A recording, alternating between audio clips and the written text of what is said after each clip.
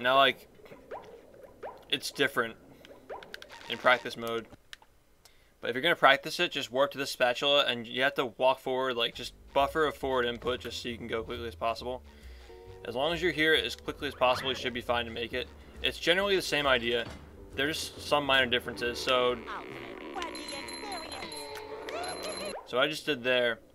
I didn't use my bungee for the first one that I hit. I just kind of rode into it, let myself come back up, and then hit the other two by using one bungee jump. So I used one jump on this on this actual first bungee.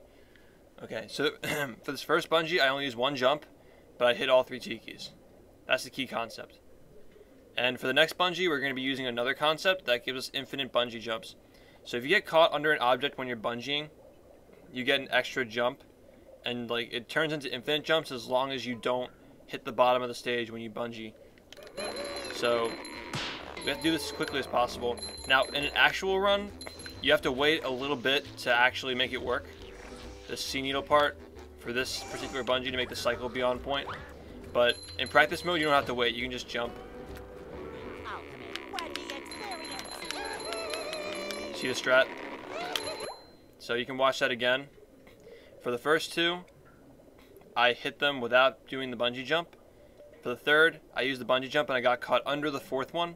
And then I came back around and hit the fourth one. Now, when you're practicing, you have to get the wheel. Pretend, even if your wheel isn't here in your practice file, you still have to get it. Like, pretend you're getting it to make the cycle be on point. Also, you can't really take time to go backward there. You have to be moving forward, like, the whole time for this to work.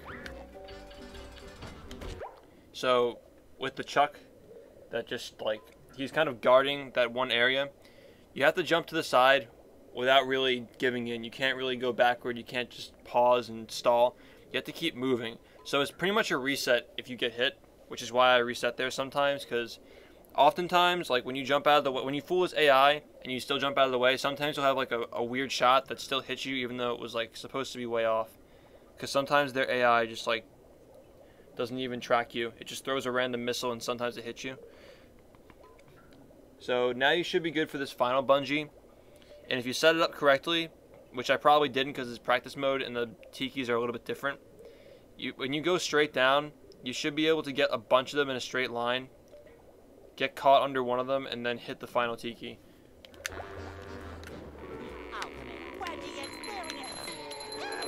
Okay, I actually did it. That's how you do it correctly.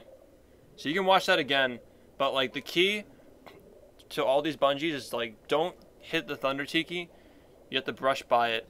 Never get hit by a Thunder Tiki or you're screwed. For any of the bungees that there are Thunder Tikis, if you get hit, the cycle gets fucked. It's pretty much, for me, it's an automatic reset if I mess up bungees. Because if you mess up one, the whole cycle's screwed.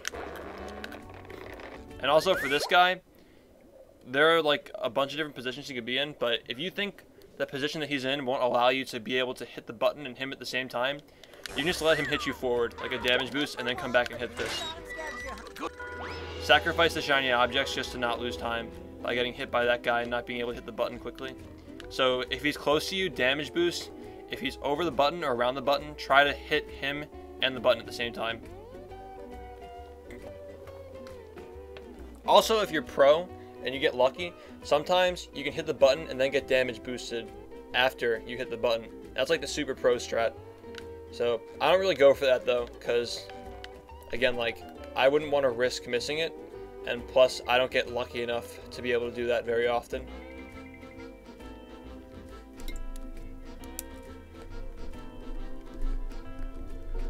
Also, there are audio cues. Like if you if you watch my PB videos or my gold splits for Sea Needle, like especially the recent ones when I've I've optimized it more, because this is my Sea Needle route. I mean, I adopted the first two bungees from Fuff, but the final one is pretty much my thing. I optimized the final bungee to make it consistent and really, really fast. So that's why I get really good sea needles, because I do these strats that I kind of modified off of what Fuff used to do. Kind of like how I modified the RoboPatrick manipulation off of what Cole used to do. I just optimized all these strats to make them like super, super fast and consistent. So you should be able to get fast bungees now.